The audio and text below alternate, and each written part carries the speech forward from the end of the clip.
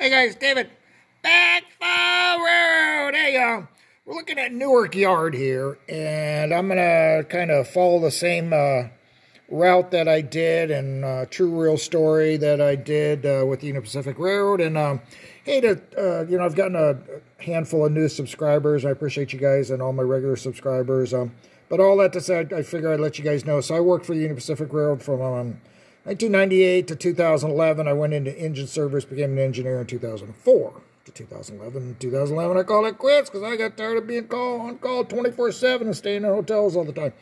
But anyways, all that to say, we get this train. Um, it's north of Newark is north of uh, San Jose in the in the South Bay um, yard here, and the guys that work the Salinas local uh, the Salinas drag or whatever you want to call it. Uh, they bring the train up here, and then we go to work um, maybe about 8 or 9 in the morning, which was nice.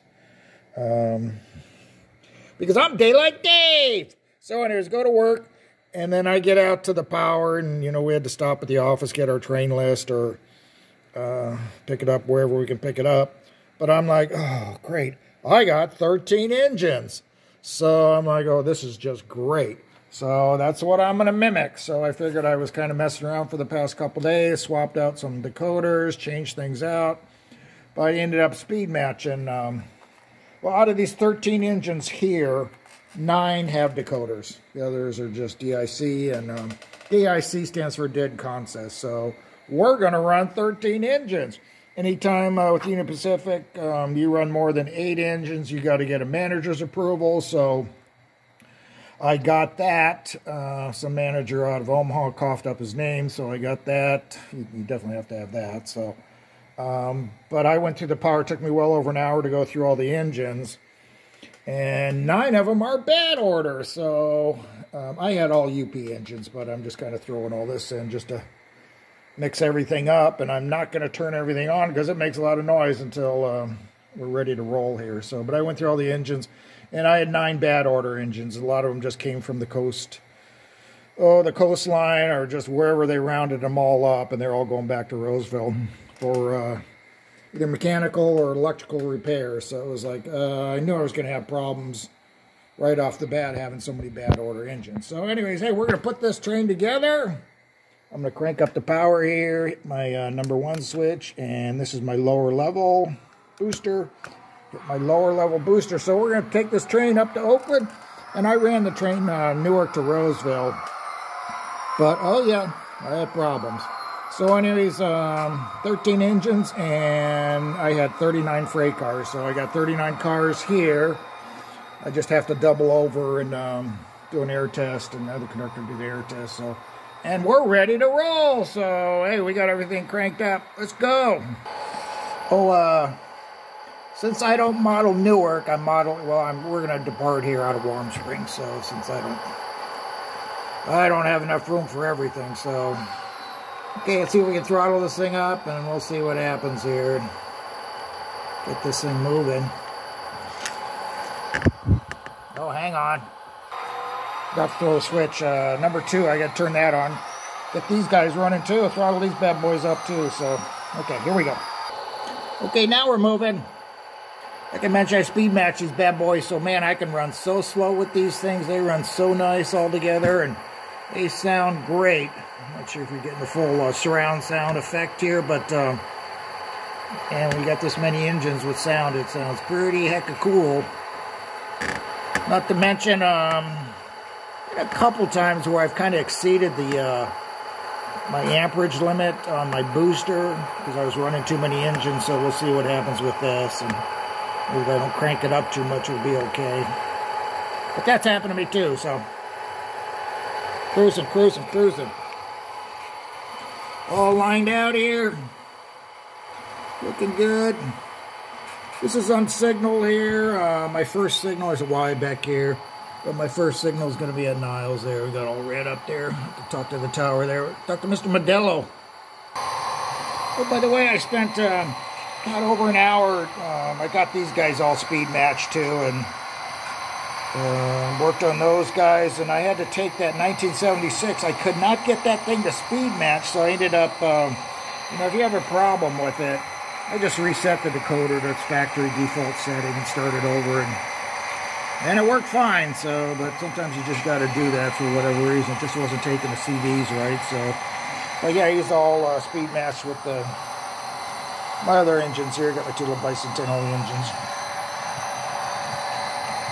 It's either they're going in for repairs or they're going in for scrap. Not sure yet depending on how bad they are. Yeah, shoving on back here.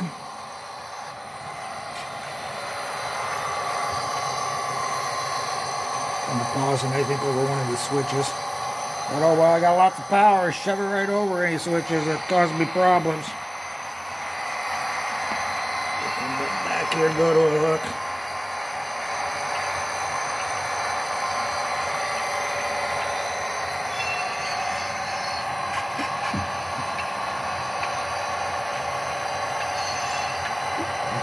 Okay, come up, uh, go for a nice easy little safety stop, safety stop.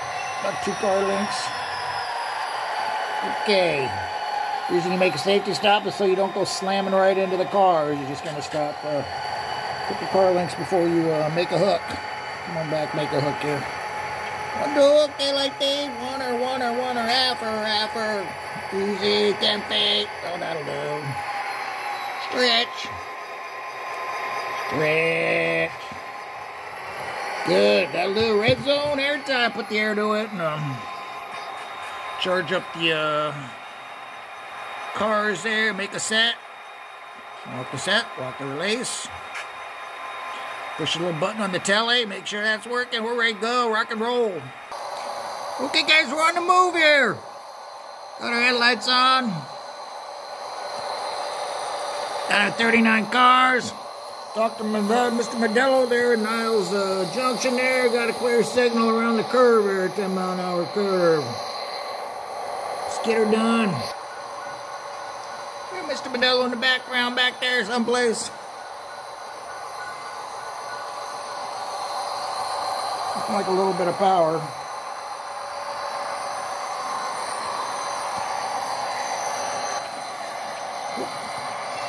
We'll pause there another direction. Next up, come up on CP40. We're going to take the crossover here. Crossover speed for this is actually 40 mile an hour. It's a pretty smooth crossover. Our power. Going by Lake Elgee. Got divergent clear. Looking sweet. We're still pulling out of the yard. Take that signal to the cab, divergent clear. That'll work.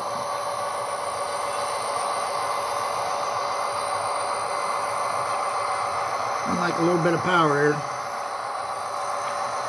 So what I was going to talk about too is, um, course I had problems with the train. I had problems with the engines and because they're in bad order and I had multiple, multiple problems. Um, you know, if you guys ever noticed, you know, you got your little side tanks there. These are main reservoir tanks there, and they're kept between 120 and 140 psi. So when I was cruising along, you know, I got up to track speed, max speed for more than eight engines is 45 mph, and no more restrictions on the cars. But all that to say, and um, try to pull away from that noisy, those noisy engines. I'm cruising along, and my air pressure is slowly dropping. So it started dropping below 90 pounds, and then that's when you start getting a little concerned because you want to have at least 90 pounds on your equalizing reservoir, which is another tank.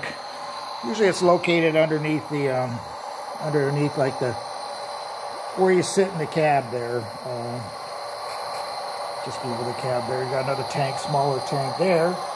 And it's called your equalizing reservoir. So you want to keep that around 90 pounds. So, of course, I started dropping below 90 pounds. And I'll pick up speed here in a second. So, like I mentioned, I'm just kind of cruising along and I go, everything's fine when I'm stopped and I got the reverser uh, centered. You know, it'll recharge the tanks. It took some time to recharge the tanks, but when I was cruising, I'm just losing air pressure. So I ended up stopping, and I'll kind of show you where I stopped here. Go around the curve here. So once I started dropping below 90 pounds, I reduced about 10 mile an hour because I had to get off some crossings. So by the time I got off the crossings, I was at 80 pounds, so I just ended up stopping. And then you got it. You call the dispatcher, you make uh, your problem the dispatcher's problem too. So I had to let him know I was losing air pressure. So talked to him for a little bit, and he, you know, he makes some phone calls too. Oh, there's my tail end, by the way. My 39 cars. So an option is you can go through uh, Mr. Goodwrench, and that's what we called. Um, oh, the guy. There's a, a full-time person on on duty who helped you with uh, diesel repairs, engine repairs, or whatever. Um, and you just say, hey, you know what, I'd uh, like to speak with Mr. Goodwrench there, and um, you know, within about five ten minutes, he'll come on the radio, and he'll help you out and it's pretty cool. You know, in this particular case, I had more problems than I you know, pretty much cared to deal with, but um, we didn't go that route this particular time. But um, you know, the cool thing is with the more modern power, he can do a full diagnostic on you, and he's in Omaha. He's a manager. But he can do a full diagnostic on any engine that you have. He can just bring it up on his computer and take a look at what's going on with it and help you and talk you through uh, something. So it's it's pretty neat how it works. You know, it's pretty advanced um, as far as when he can just bring up uh, your engine and just look at it and tell exactly what's going on. So not so much with these older engines, but with the newer stuff you could. So, but we didn't go that route, and I ended up saying, hey, you know what?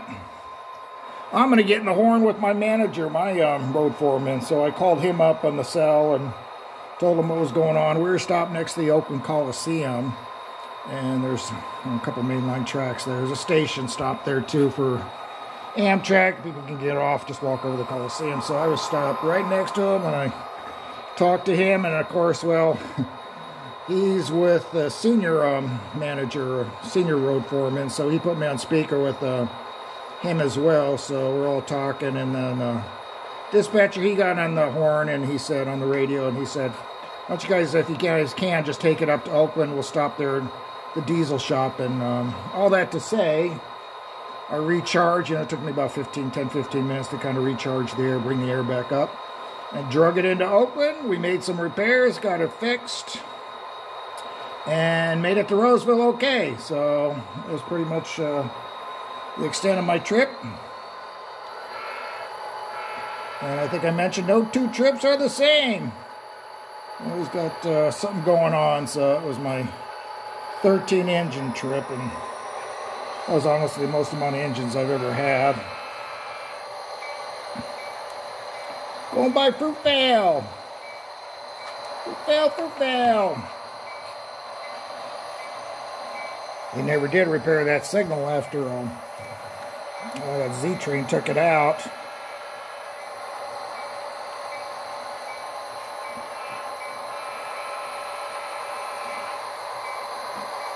quite horn. Oh, yeah, I just cruised up there. Made it okay.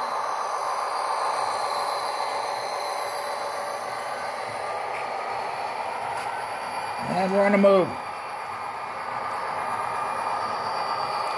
13 engines.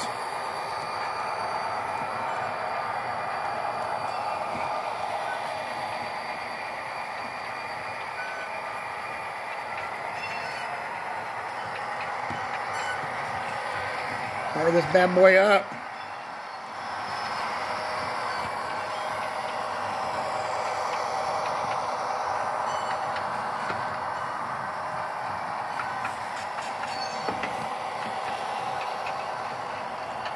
Looking good. Looking good, Daylight Dave. Oh. Forgot to turn my traffic lights on. Oh well. Just treat it as a stop sign.